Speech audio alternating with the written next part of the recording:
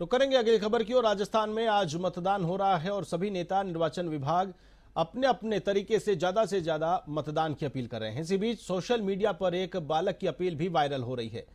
आपको दिखाते हैं कि एक बालक मतदाताओं को जाति और धर्म के नाम पर वोट करने की सोच पर तंज कस रहा है।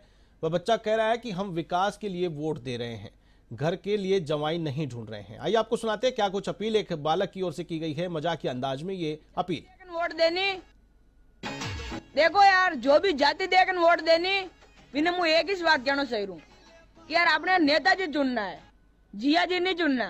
गाँव रो विकास करानो, तोरण नहीं मानना।